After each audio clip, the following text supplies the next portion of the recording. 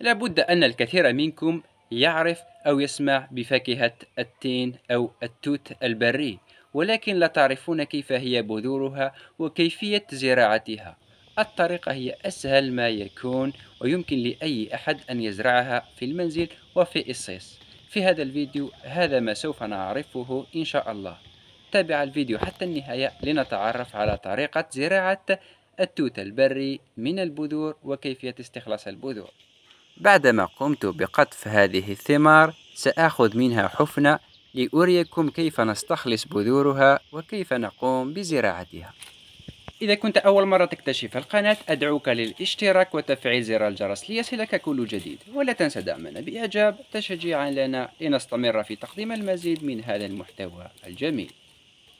بكل بساطة نقوم بإحضار إناء صغير يحتوي على الماء وحفنة من ثمار الفاكهة. نقوم بمحقها أو سحقها بهذا الشكل. نعمل نفس الشيء لجميع الثمار. ثم نقوم بتحريكها جيدا لفصل اللب عن البذور. نحضر قماش وكأس فارغ. نضع القماش فوق الكأس. ثم نقوم بتفريغ محتوى الإناء داخل الكأس.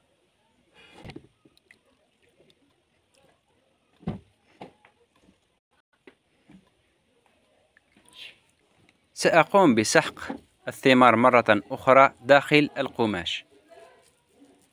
نعم سوف أمحقها جيدا لفصل البذور. ثم أعيدها مرة أخرى إلى الماء لأفصل البذور.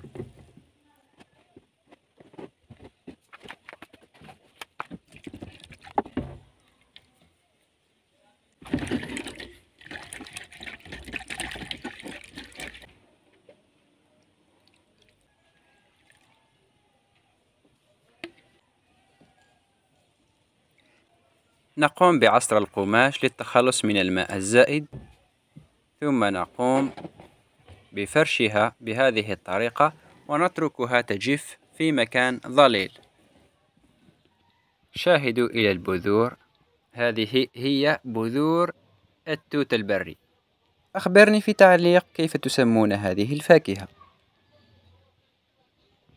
وبعد يوم كامل جفت وأصبحت بهذا الشكل.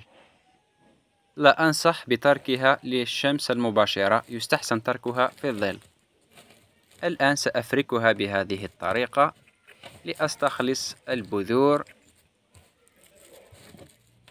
هذه هي البذور. كما تشاهدون سوف أقوم بزراعتها مباشرة في الصيص بعد ملء الإصيص بالتراب سوف أقوم بنثرها بشكل متساوي ثم أضيف حفنة من التراب فوق البذور وأسقيها جيدا وأضعها في مكان ظلي. أنا أنصحكم بالاحتفاظ بالبذور حتى بداية فصل الربيع نعم إذا سوف نقطف البذور في فصل الصيف. ننتظر مرور الربيع والشتاء وفي بداية الربيع نقوم بزراعتها لضمان الإنبات الكبير. لأنه وكما تعرفون كل أنواع البذور تقريبا تزرع في نهاية الشتاء وبداية الربيع. أتمنى أن يكون الفيديو قد أعجبك. إذا كان لديك أي استفسار أخبرني بذلك في التعليقات. يشرفني أن أعرف من أي البلاد تتابعنا أستودعكم الله الذي لا تضيع ودائعه. والسلام عليكم ورحمة الله وبركاته.